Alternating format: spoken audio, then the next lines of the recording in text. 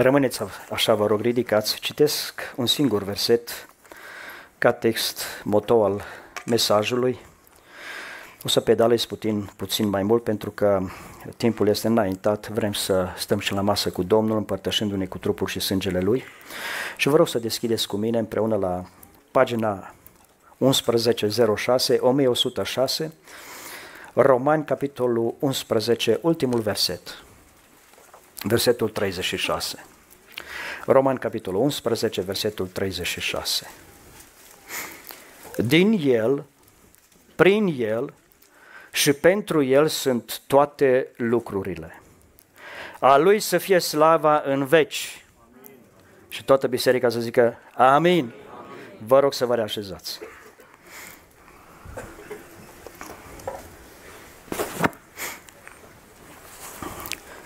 Din El, prin El și pentru El sunt toate lucrurile. A Lui să fie slava în veci. Amin. Vine psalmistul 115 și spune felul următor. Nu nouă, Doamne, nu nouă, ci numelui Tău dă slavă. Pentru ce? Pentru bunătatea Ta, pentru credincioșia Ta. Miercuri seara să citea psalmul 117 aici la rugăciune. Două versete, cred că are, sau trei maxim. Și ne îndemna psalmistul prin 117 să-L lăudăm pe Domnul toate popoarele, toate neamurile. Pentru ce? Că mare este bunătatea Lui și credincioșia Lui. Efesen 3, 20 la 21. Iar acelui ce prin puterea care lucrează în noi poate să facă nespus mai mult decât cerem sau gândim noi. A Lui să fie slava în biserică și în Hristos Iisus, din neam în neam, în vecii vecilor. Amin. Isaia 42, versetul 8. Strigă cuvântul Domnului prin profetul Isaia și zice, Eu sunt Domnul, acesta este numele meu. Slava mea nu voi da altuia, nici cinstea mea idolilor. De aceea îmi doresc din toată inima în Biserica Betel, unul singur să fie înălțat și proslăvit, Hristos Domnul. Și orice gând să-l facem rob ascultării de Isus Hristos. Slăvit să fie numele Lui în veci de veci. În Matei 16 spune cuvântul Domnului că vine Isus în ținutul cezarei lui Filip și stă de vorbă cu ucenicii și le pune o întrebare. Ce auziți? Parcă nu știa, dar au vrut să, azuc, să audă din gura lor. Cine zic oamenii că eu? Și deschid o paranteză aici, înainte ca să-mi continui ideea. Noi obișnuim și spunem, um, mergem la biserica lui Nicu, mergem la biserica lui, știu eu, lui altcineva. Îi dăm numele. Um, continui. Cine zic oamenii că sunt eu? Păi unii zic că ești Ilie, unii zic că ești profetul, unii zic că ești Ieremia. Dar voi cine ziceți că sunt eu, le-a zis Isus. Și Simon Petru zice, tu ești Hristosul, Fiul Dumnezeului celui viu. Ferice de tine, Simone, pentru că nu carnea și sângele ți-a descoperit lucrul acesta, și Duhul Tatălui meu care este în ceruri. Și pe această mărturie pe care tu ai zis-o, zice Domnul, eu îmi voi zidi ce? Biserica mea, a lui. Și porțile locuinței morților nu vor birui. Deci nu-i nici a mea, nici a lui, dar nici a ta. E a lui Hristos Domnul, pentru că El și-a dat viața pentru noi. De aceea, a Lui să fie slava în veci. Slăvească-i se numele Lui. Din El, prin El și pentru El sunt toate lucrurile. Avem și o cântare care o cântăm. Eu vă spun la modul cel mai serios că după săptămâna de poșă rugăciune care am avut-o cu biserica aici, și Dumnezeu ne-a onorat cu prezența Lui, Dumnezeu a botezat cu Duhul Sfânt, Dumnezeu s-a atins de noi, ne-a ridicat, ne-a îmbărbătat. Mă gândeam la cuvântul ăsta, la expresia asta, la versetul ăsta din El, prin El și pentru El sunt toate lucrurile. Mă, ce-o fi cu versetul ăsta, meu? Ce-o fi cu expresia asta? Aș vrea să vă spun, dragilor, nici măcar o expresie nu este. Atenție! Nu este nici măcar o enunțare, nici măcar o concluzie la care Marele Apostol Pavel a ajuns. Le scria celor din Roma. Nici măcar o constatare. Am ajuns la concluzia că toate lucrurile sunt nu. Știți ce este asta? Atunci când rostesc din El, prin El și pentru El sunt toate lucrurile, nu spun altceva decât suveranitatea Domnului Isus Hristos. A fost, este și va fi. Asta este suveranitatea Domnului Isus Hristos. Cum explic asta? Adică eu, muritor de rând, cu tine împreună, alții au fost, nu mai sunt, alții vin și vom pleca așa până când Domnul va veni să-și ia ce este a Lui. Noi, muritori de rând, cu mintea noastră limitată, încercăm să explicăm, de fapt, suveranitatea, măreția Domnului Isus Hristos cu cuvintele noastre slabe, cu cuvintele noastre puține.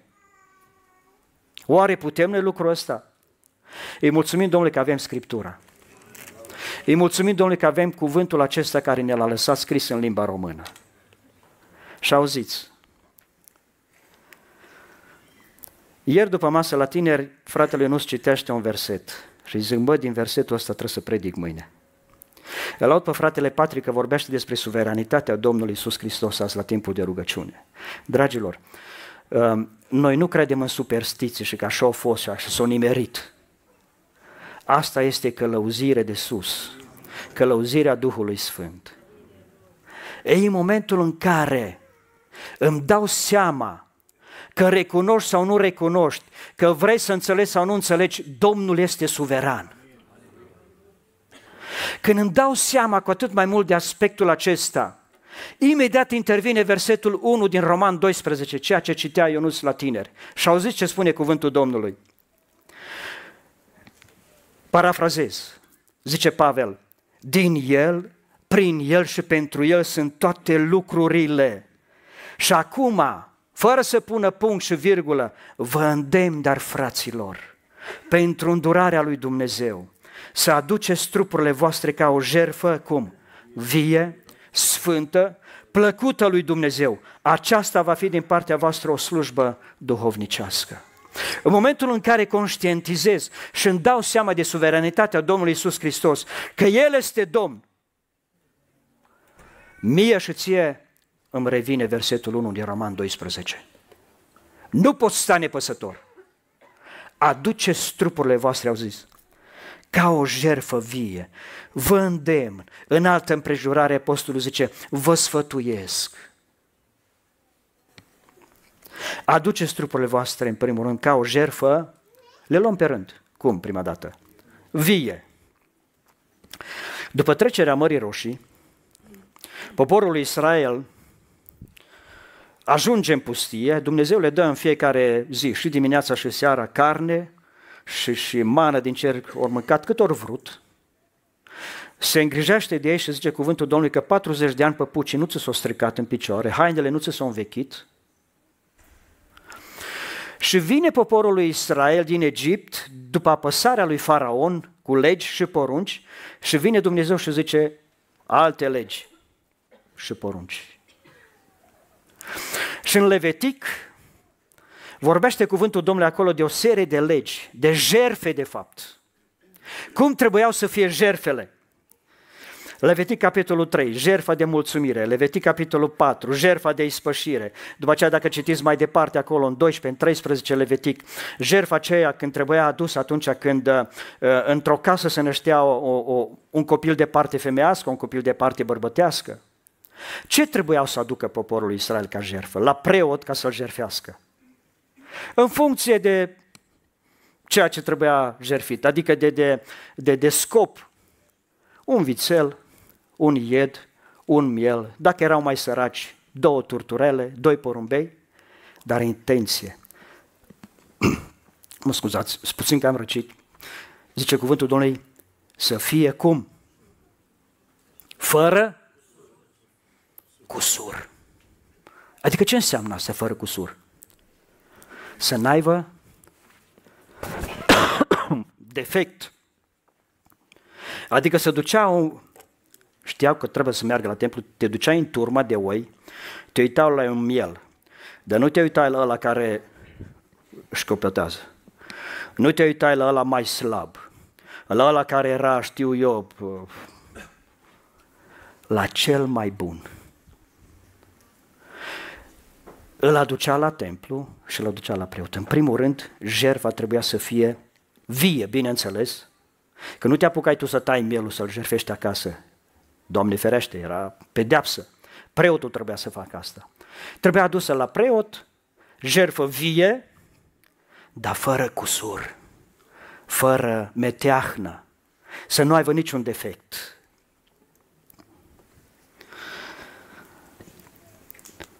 Și dacă chemați ca tată pe cel ce judecă fără părtinire, 1 Petru 1 cu 17, pe fiecare după faptele lui, purtați-vă cu frică în timpul pribegiei voastre, căci știți și noi știm că nu cu lucruri pieritoare, cu argint sau cu aur ați fost răscumpărați din felul de șer de viețuire, pe care îl moșteniserăți de la părinții voștri, ci cu ce? Ci cu sângele scump al lui Iisus Hristos. Și auziți, ideea continuă și să mai adaugă ceva. Mielul fără cusur și fără prihană. Mielul fără cusur și fără prihană. Evrei 10 cu 10, vreau să citesc câteva versete fugitiv.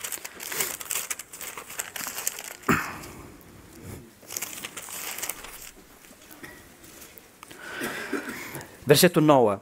Apoi zice, iată mă vin să fac voia ta, Dumnezeule. El desfințează astfel pe cele din tâi ca să pună în loc pe a doua. Prin această voie am fost sfințiți noi și anume prin jerfirea trupului lui Iisus Hristos. Cum?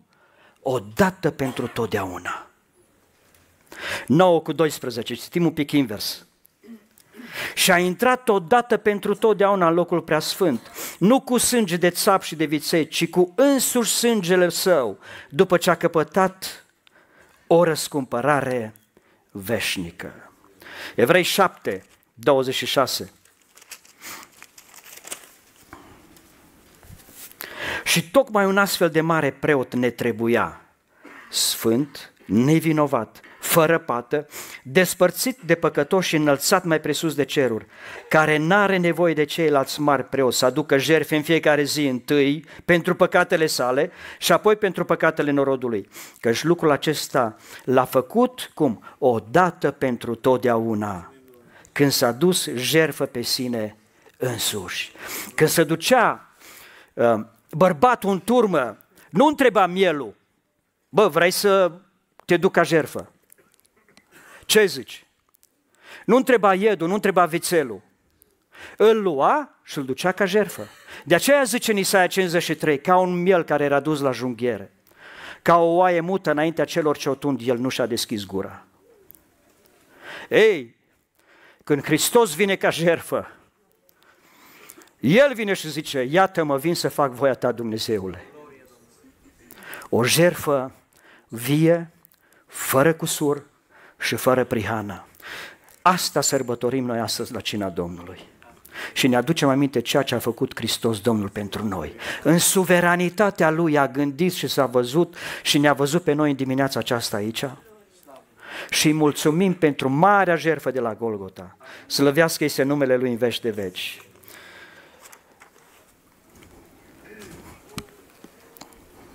Apoi, trupurile noastre ca o jerfă cum? Sfântă. O jerfă vie.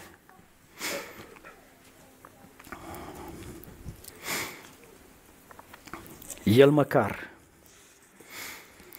că avea chipul lui Dumnezeu, totuși n-a crezut ca un lucru de apucat, Filipeni 2 să fie deopotrivă cu Dumnezeu, ci s-a dezbrăcat pe sine însuși, însuși și a luat un chip de rob. făcându-se asemenea oamenilor. La înfățișare a fost găsit ca un om. S-a smerit și s-a făcut ascultător până la moarte și încă moarte de cruce. De aceea și Dumnezeu l-a înălțat nespus de mult și a dat numele care este mai pe sus de orice nume, pentru ca numele lui Isus să se plece orice genunchi a celor din ceruri, de pe pământ și de sub pământ. Și orice limbă să mărturisească spre slava lui Dumnezeu Tatăl, căci Isus Hristos este Domnul. Din El, prin El și pentru El sunt toate lucrurile. Isus Hristos este Domnul.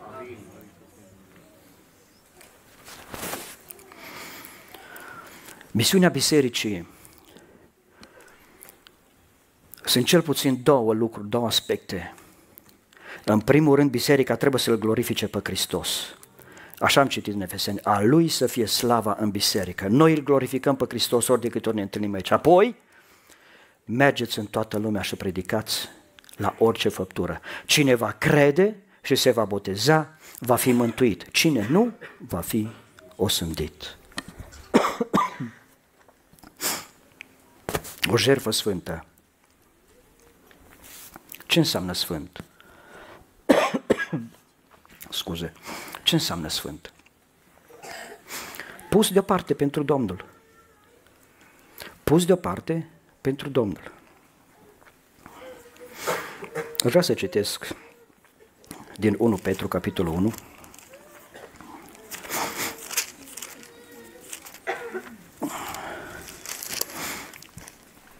14 la 16. Și după cum cel ce v-a chemat este sfânt, fiți și voi sfinți în toată purtarea voastră. Căci este scris, fiți sfinți, căci eu sunt sfânt. Și spun la asta, Domnul să ne ajute. Amin.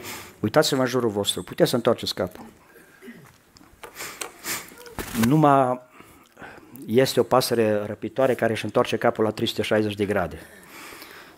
Numai aia poate, noi maxim atâta, dacă te doare spatele și mai puțin. Okay. Uitați-vă în stânga și în dreapta. Stai lângă un sfânt stai lângă o sfântă în devenire.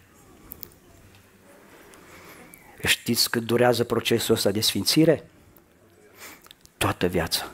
Eu am zis într-o ocazie, așa mai azli, a zis, știți cât durează? Până când te duce cu picioarele înainte și cu vată în nas. Atât. După aia urmează veșnicia. De aceea mulțumim Domnului pentru toți sfinții care sunt în Biserica Betel, sfinți în devenire. Nu uitați, ne ducem procesul acesta până la capăt cu frică și cu tremur. Apoi, psalmistul zice în 93 că sfințenia este podoaba casei tale. Repet, sfințenia este podoaba casei tale. De aceea, le spuneam și tinerilor ieri la... Bă, nu veniți aici să vă etalați.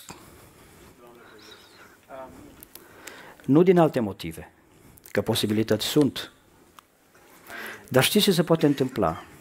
Tot ce e posibil ca într-o familie să nu fie chiar atâta de mult material. Să fie mai mulți copii, care nu-și permit părinții să-și îmbrace, știu eu. De aceea rămâneți la cele smerite, le moderați. Așa, voi trebuie să fiți indicatoare nu spre, era să zic ție un da, dar nu știu dacă nu mai cumpără cineva dintre voi de pe acolo ceva. Uh, nu știu cum se numesc ele. Dacă mergeți pe Maximilian Strasse în München, poate vă dați seama pe unde ați ajuns. Nu. Uh, voi trebuie să fiți indicatoare nu spre vers, cum zice, versage, vers, versage, așa. Da. Voi trebuie să fiți indicatoare spre Hristos.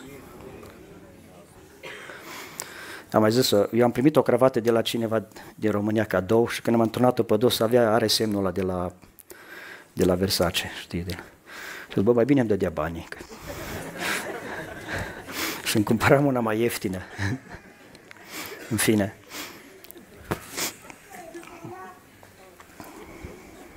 Apoi, să aduceți trupurile voastre ca o jerfă Cum? Am zis vie, sfântă, plăcută.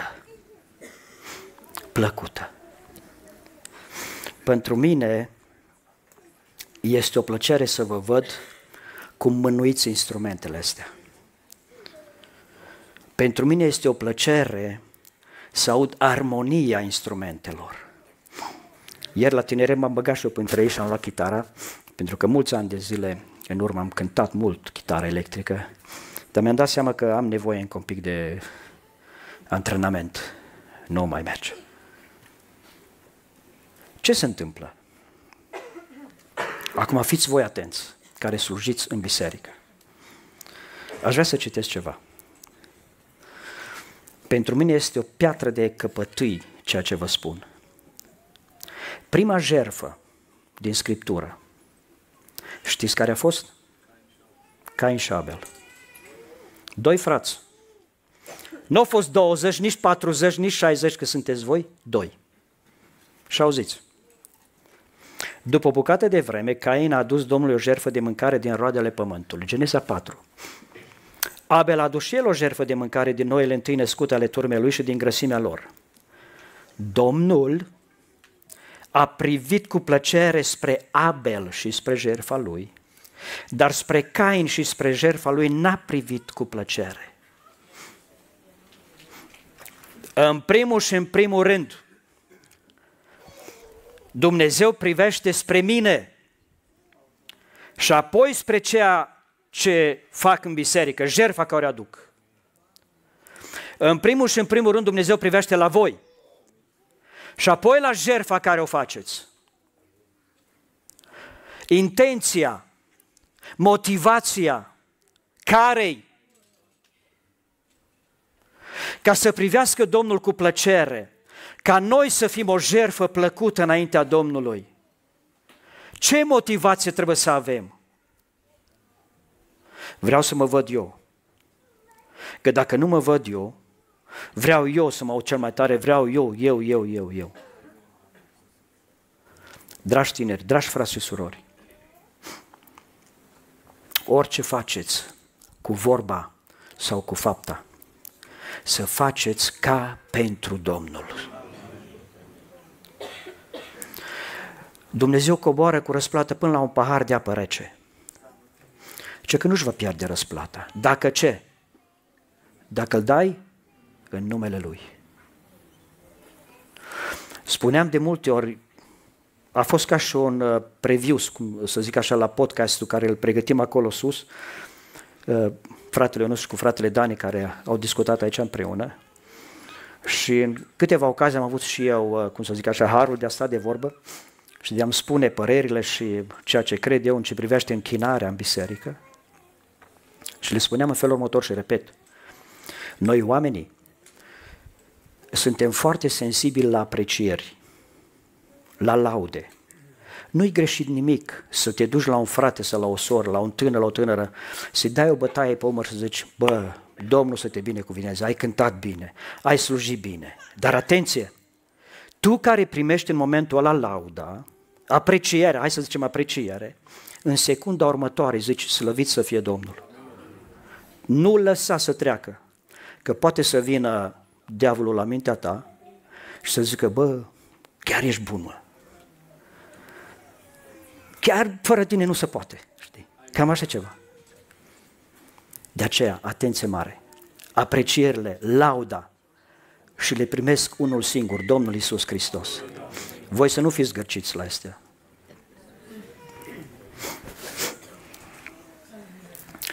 O să citiți Cartea Împăraților. O să vedeți acolo o sumedenie de împărați, o succesiune de împărați. În dreptul lor să zice la final, a făcut ce este plăcut înaintea Domnului. Dar la ce mai mult știți ce să zice? N-a făcut nimic, a făcut ce nu este plăcut înaintea Domnului. Ba la unii se mai zice, bă, au călcat în urmele cas, tatălui său David, dar înălțimile nu le-au dărâmat și astarteile nu le-au sfărâmat. De aceea Hristos ne vrea 100% pentru El. Nici măcar 99,99%. ,99%. 100% pentru El. Dumnezeu să ne ajute, dragilor. Să fim o jerfă vie, adică implicare, jerfire. Nu morții îl laudă pe Domnul, zice psalmistul. Păi după ce stă cu mâinile așa și dus la cele veșnice, la revedere, ce mai poți să faci? Nimic. Nu.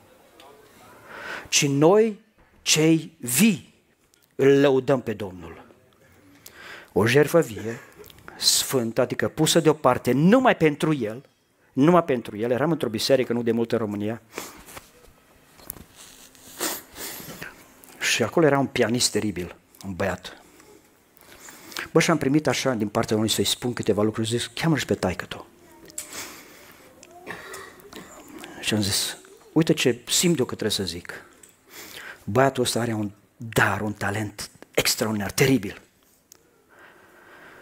Nu uita, în momentul în care îți vor face oferte cei din afară, să fii categorii să zici nu. Atât. Pentru că ce se întâmplă? În lumea artei, în lumea filmului, a muzicii, cea mai mizerabilă ramură care poate să existe. Și vine diavolul cu oferta și zice, bă, ești bun, hai, e rostul de, într-o lună de zile tu câștigi cât câștigă altul în 10 ani, de exemplu. Nu. Păi dacă pentru lucrurile astea pieritoare ne-am pus nădejdea și în ele, suntem cei mai nenorociți. Pentru că noi nu ne uităm la ceea ce se vede, că ceea ce se vede e trecător. Pe când ceea ce nu se vede, adică veșnicia, Hristos, Sfinții, este veșnic. Dragilor, haideți să fim plăcuți înaintea Domnului. Mai citesc două versete după care închei.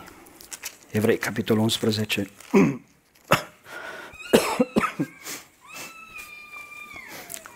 Și fără credință este cu neputință să fim plăcuți Lui.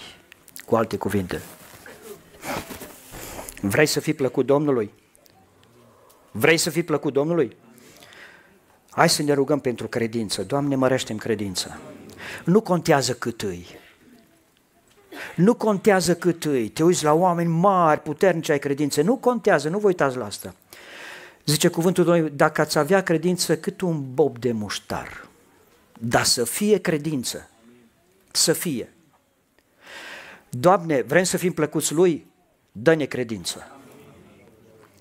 Evrei 12 la final zice, fiindcă am primit dar o împărăție care nu se poate clătina, să ne arătăm mulțumitori și să aducem lui Dumnezeu astfel o închinare plăcută, cu evlavie și cu frică.